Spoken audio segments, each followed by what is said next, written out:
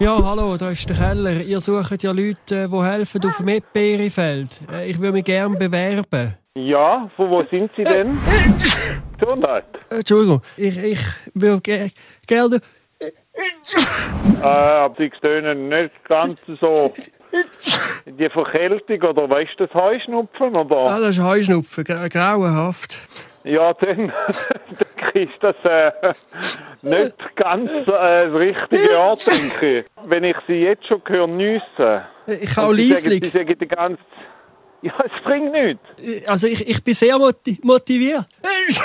Ja, aber es nützt nicht, wenn sie den ganzen Tag auf dem Weg jacken und nüssen. Wir müssen die Hygienevorschriften und alles einhalten. Ich tue die Hände desinfizieren. Ich kann, ich kann auch selber mitbringen. Ja, aber sie haben die vor dem Gesicht so die ganze Kiste mit der Erdbeere und wenn sie immer drin nüssen, kann ich die Kisten nicht verkaufen. Ja, äh, dann tue ich es waschen. Was waschen? Die Erdbeere? Ja, der, der Beere. Nein, die Und werden Hände? nicht mehr gewaschen. Das ist aber, das ist aber ein bisschen unhygienisch, wenn sie die nicht waschen.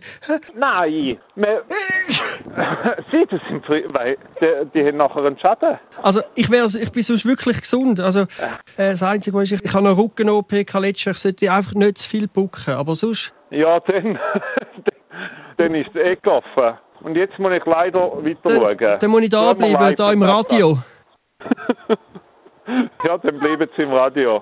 Herzlich willkommen beim Kellerfon. ja, super, danke.